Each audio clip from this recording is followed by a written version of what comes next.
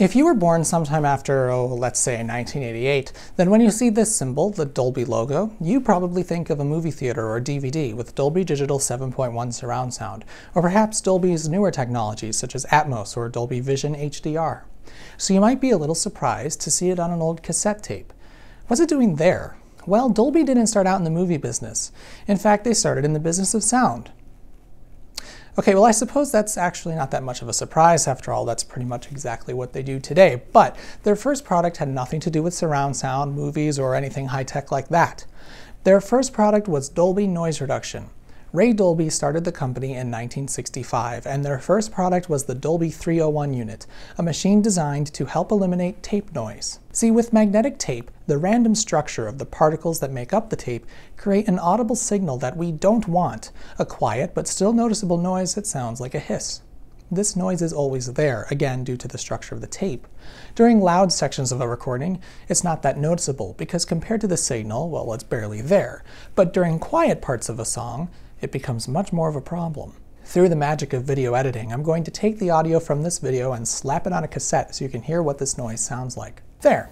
That's better? Well, I suppose it's actually worse, but there you go, that's the problem. This tape noise permeates all recordings, and particularly in quiet or silent portions, it's quite noticeable. Ray Dolby wanted to figure out a way to get rid of it. His solution is quite elegant. First, let me turn on Dolby Noise Reduction so you can hear the difference. There, that is better. Now the noise is much less noticeable. It's still there, sure, but it's definitely not as annoying. But what's most interesting is the fact that the actual signal we wanted is unaffected. I don't sound any different now that we're using noise reduction. The only thing that happened is now you can hear me better because the noise has gone away. So how does this work? Well, the first thing Dolby did was to figure out what the tape noise was. By using spectral analysis of a tape with nothing on it, you can see what sound frequencies make up the noise. Therefore, you can get a noise profile.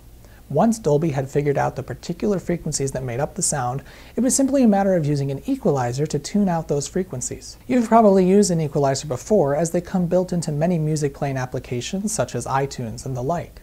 The equalizer has a slider for particular ranges of sound frequencies, and you can either boost each band or suppress it. Dolby Noise Reduction is a lot like taking the frequencies that make up noise and tuning them down a lot to make the noise quieter. Okay, so let's do that. Now the noise is a lot less noticeable, but we have a new problem. Now the sound we want is very dull, and my voice sounds muffled. This isn't really any better, it's just a different problem. So how come nothing changed when we used it the first time? Well, let me turn it back off. Nothing changed the first time because Dolby Noise Reduction is actually a two-way process. In order for it to work, the recording also has to be processed with Dolby NR. During recording, the Dolby chip inside the cassette deck actually does the opposite of what it does during playback. Instead of cutting the frequencies associated with noise, it boosts them. Now I'll turn on Dolby Noise Reduction at the time of recording, but I'll play the tape back without Dolby turned on. Now my voice sounds really harsh, with S sounds being particularly annoying. In fact, the S sound is so satisfactorily nasty such that some sadistic, senseless sad sack might succumb to the sickening task of overusing these sounds to facilitate the driving of a point home. yes, but there is a reason for this. By overboosting these frequencies during recording, we eliminate the problem of a dull recording when using noise reduction. Let's look at the equalizer again. This is what happens when we use Dolby during playback. These frequencies are pulled down to kill the noise. But by doing this, we also pull down any components of the signal, that is the sounds we want, that lie within the range. But if you boost the frequencies that lie within the spectrum of the noise while recording, you end up with a recording that has those particular frequencies recorded too loud. Then when you pull those frequencies down during playback, you not only pull the noise down and make it quieter, but you also bring the boosted parts of the signal back down to where they should be.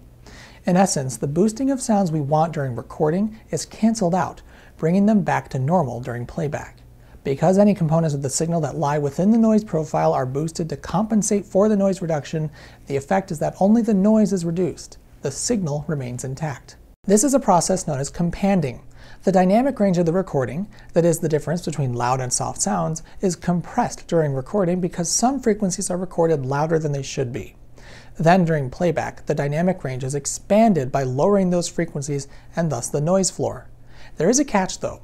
Because some sounds are boosted by the Dolby circuitry when recording, the record levels that you use must be reduced a little bit to ensure that they don't get distorted. That's why the Dolby symbol usually appears on the level meter of a tape deck. This is the point on the meter that should not be exceeded when using noise reduction. When setting the level for recording, you'd want the meter to just barely touch it at the loudest sections. The Dolby system used on consumer machines like this one wasn't the best that Dolby had to offer. Dolby A noise reduction is what Ray Dolby first invented, and what was found in the majority of the professional recording studios. But Dolby B, what's used on the vast majority of cassettes, worked pretty well, and it was a lot simpler and thus cheaper to implement.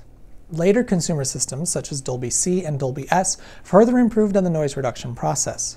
Dolby C came about in 1980, and it worked very well, about 60% better than B. The problem with Dolby C, however, was that on non-compatible equipment, the tapes sound really weird. Have a listen. Here's a clip of some music from the YouTube audio library.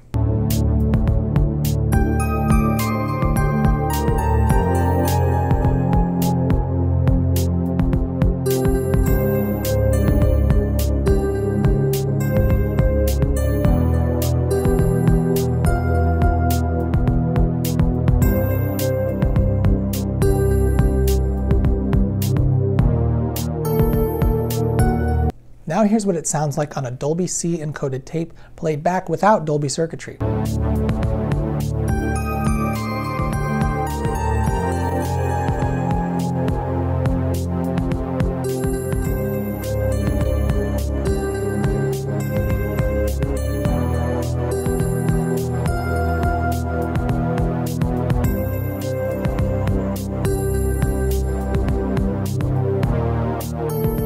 That's messed up. Turning on Dolby B helped a little, but not much. See, Dolby C used a much more complicated process to reduce noise, and that's why recordings made with it are less compatible. It also meant that pre-recorded tapes didn't shift to Dolby C, since no one wants to buy music that doesn't sound any good, and even fewer people were willing to put down the money for a new cassette deck. The next consumer development, Dolby S, was supposedly so good that with a decent quality chromium tape, you couldn't tell the difference between a cassette encoded with Dolby S and a CD.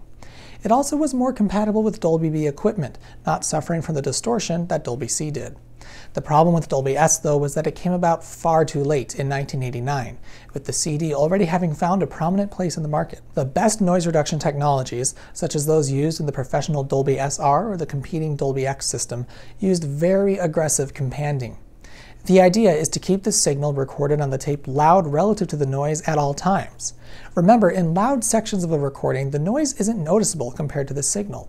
So the best possible system would make the recording loud all the time, and during playback could tell which parts were intended to be quiet and thus automatically lower the volume of the whole signal back to normal, therefore making the noise practically imperceptible.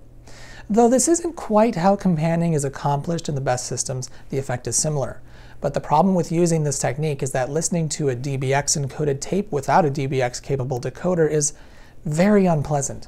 The same goes for Dolby SR. And that's precisely why the better systems never took off in the consumer space. Dolby B was simple and still pretty effective, but best of all, a Dolby B encoded tape could be played back on a standard cassette deck with reasonable results, again with the only difference being an overemphasis of the treble sounds and with most stereos having a bass and treble adjustment, just slightly turning down the treble would bring the sounds back to more or less normal, while still providing some noise reduction. Of course, the noise reduction you'd get would be less precise and effective. We don't use noise reduction anymore because, well, noise isn't a problem anymore. Now that we use digital sound in virtually all applications, there's no need to add this sort of complex circuitry. But I'm still impressed by the elegant solution to the problem automatic preemphasis of sounds within the noise profile when recording, and then de-emphasis when playing it back, is so delightfully simple, effective, and logical that I can't help but admire it. Thanks for watching. If you like this sort of video, I humbly ask that you be sure to give it a thumbs up and subscribe to Technology Connections. I'm doing my best to keep videos like this coming your way. If you have ideas of what to explore next, leave them in the comments. I'd love to hear them. I'll see you next time.